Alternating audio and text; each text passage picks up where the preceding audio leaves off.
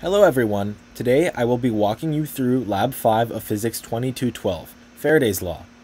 The purpose of this lab is to observe a magnet falling through an aluminum foil cylinder.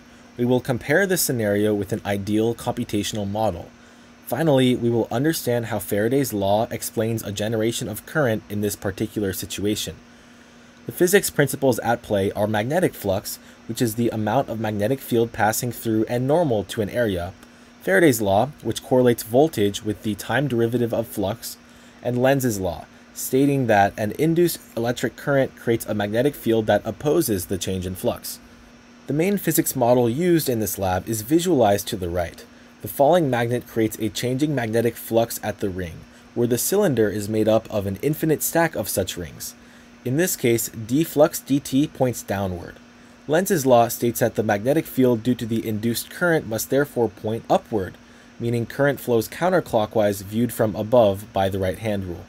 The magnetic force can be found by I delta L cross B, where B can be found using the Biot-Savart law.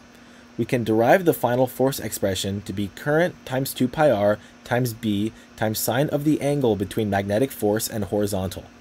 The procedure includes first recording the physical properties of the aluminum foil cylinder, such as length, wall thickness, and inner radius. Then drop the magnet down the cylinder, north pole first. Finally, measure the time it takes for the magnet to reach the bottom, and average 5 trials. In the experiment, my magnet took 1.5 seconds to fall, though this value is computationally predicted to be 0.33 seconds. Why are we not using a ferrous tube? Iron has ferromagnetic properties that interfere with the effects of Faraday's law, so it is critical that our cylinder not contain iron. The measured and known properties are as follows.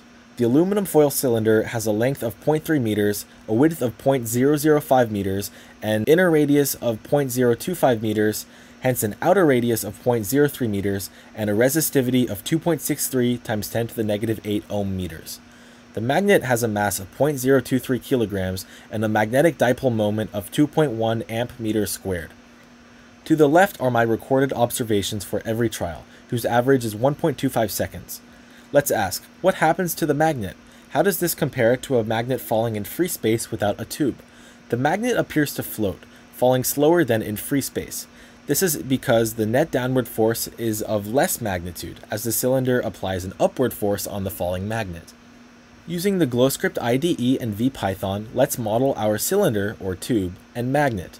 The tube is a list of ring objects, with position, radius, thickness, current, flux, and resistivity properties. The magnet is represented as a cylinder with a property for the magnetic dipole moment, mu. We can calculate the magnetic field at any location given a magnetic dipole moment using the Biot-Savart law explored in Lab 3.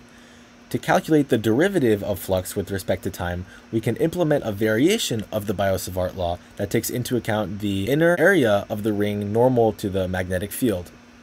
Finally, we can perform a simulation of the magnet falling down the tube. Inside a while loop, we must check if the magnet is in the tube. Then we can iterate across all rings to find the net magnetic force on the magnet. Summing this with gravity, we can use Newton's second law to find the magnet's acceleration. Then we update the magnet's position accordingly. The last step in the loop consists of plotting the magnet's position and velocity at that moment in time. Shown is the program rendering and the generated plot. The rendering confirms our setup, where the magnet starts at the top and falls downward through the tube. On the right, we see that velocity is always negative and decreasing, so the net y force is always downward. Note that at the end, velocity decreases more than usual, since part of the magnet is hanging out of the tube. To reflect on this lab, let's ask, what if the resistivity of the conductor were reduced as close as possible to zero? How would the dynamics of the falling magnet change? Current and resistance are inversely proportional, so current would grow in magnitude. Hence, the magnetic force would grow in magnitude and the magnetic would fall more slowly. Also, what if holes or slots were cut into the tube? How would this affect the ring currents in your model? The cylinder would contain less whole rings, so there is a weaker magnetic force acting on the magnet, allowing the magnet to fall faster. Thanks for listening.